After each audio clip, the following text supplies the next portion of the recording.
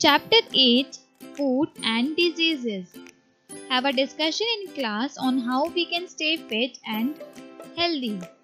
What are the things we should do? Share your ideas with your classmates. We have already learned how to keep healthy, eat the right kind and amount of food, drink enough water, and breathe clean air. We have almost learned that we must keep our houses and our surroundings clean. Now, we will learn about how to prevent ourselves from diseases. Diseases? Have you had a fever, a cold, an upset stomach, or a skin infection? How do you get these? They are caused by germs. Germs are very tiny living things that can invisible to the eye. When they attack people, they make them unwell. Infectious diseases. Have you noticed that when someone in your family or a friend has a cold or conjunctivitis, an infection of the eye, others around them also get the disease. These are diseases that spread from one person to another. They are called infectious or communicable diseases. A person gets an infectious disease when germs enter the body. These germs can then spread to the other people when come in contact with the skin person. How infectious diseases spread? Through the infected food and water.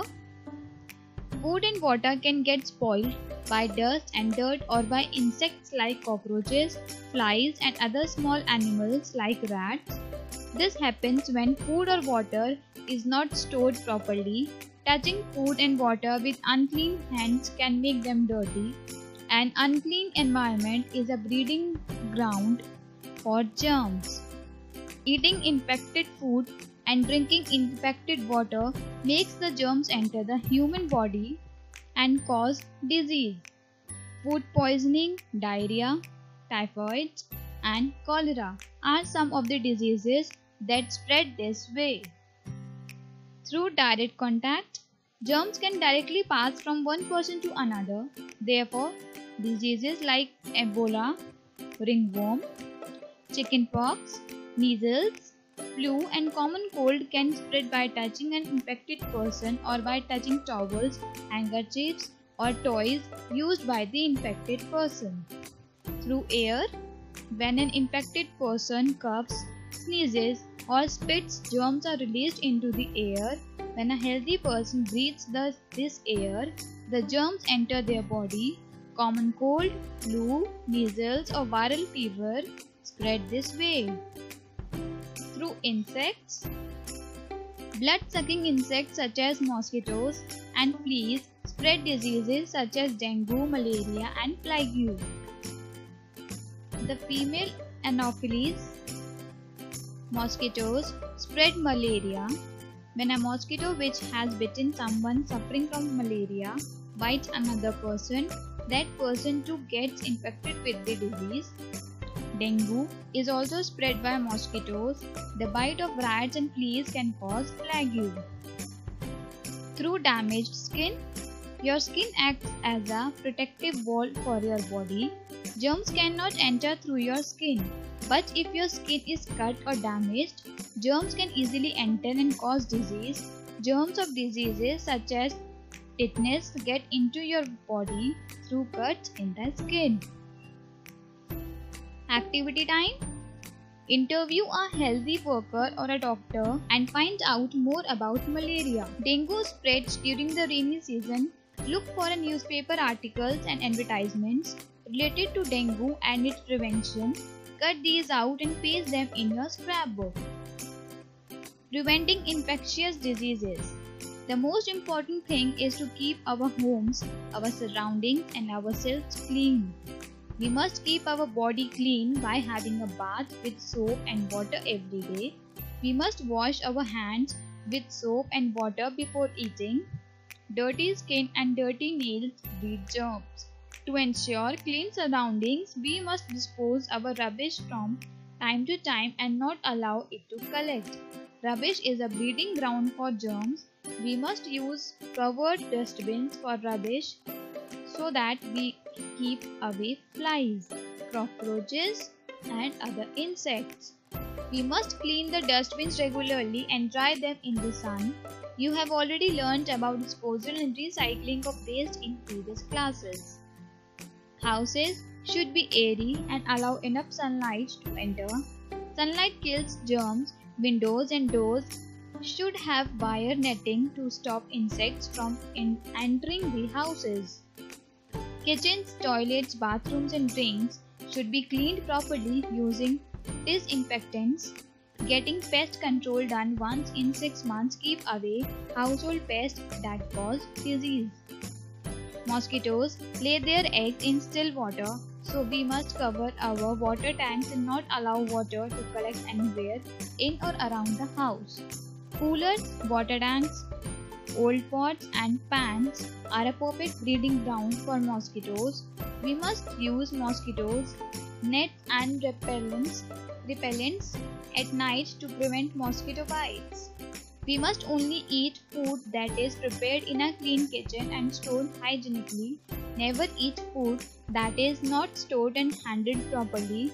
We must drink water that is boiled, filtered, or chlorinated. Drinking infected water is the most common cause for the spread of infectious disease. Ensure that the drinking water is stored and handled properly. Infected persons and their belongings should be kept away from others so that germs do not spread to others. Once they have recovered, their clothes should be boiled to kill germs. Other personal belongings should be exposed to direct sunlight since sunlight kills germs. Vaccinations Vaccination is the use of vaccines to prevent disease. Through vaccination, the body's defense or immune system is exposed to the vaccine which is a weak or harmless form of the disease causing germs. The body responds by trying to fight the germs. The vaccine can be given as an injection or given orally. For example, the polio vaccine is given orally. Children receive vaccinations from birth to 45 about 45 years of age according to a schedule. Diseases such as measles, typhoid, tetanus, polio, and mumps can be controlled by vaccines. Vaccination helps in immunization, that is, it protects children from harmful infections before they come into contact with them. Keeping fit Besides eating a balanced diet and remaining clean, you need to exercise every day to keep healthy and fit. Exercise makes your muscles, bones, heart, and lungs strong. Play a lot of outdoor games like badminton, kabaddi, football and cricket. Jog, swim and cycle whenever you can.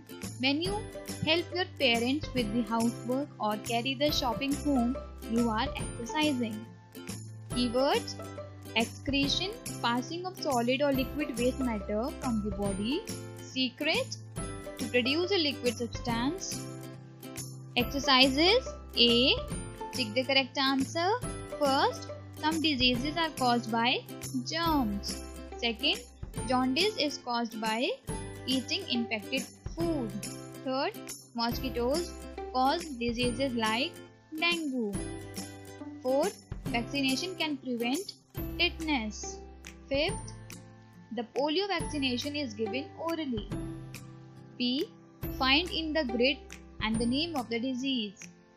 First, it is caused by eating infected food. Second, it is caused by the bite of the female Anopheles mosquito. Third, it is spread by rats. Fourth, it is caused by contact with the infected person. Fifth, it is caused when germs enter your body through a cut in the skin. Sixth, it can be prevented by an oral vaccination. Do yourself. C. Answer the following questions. First, how are diseases caused? Second, what are infectious disease? Name any three. Third, how do mosquitoes spread malaria? Fourth, what are vaccinations? Which are the diseases that can be controlled by vaccines? Fifth, what should you do to keep healthy and fit? Do yourself. Let's do fun. First, have a debate in the class on the topic Prevention is better than cure. Second, work in groups to design a poster with the caption Keep healthy and fit. To the teacher, explain to the students the importance of a balanced diet that and that the deficiency of any nutrient can cause problems to one's body and life.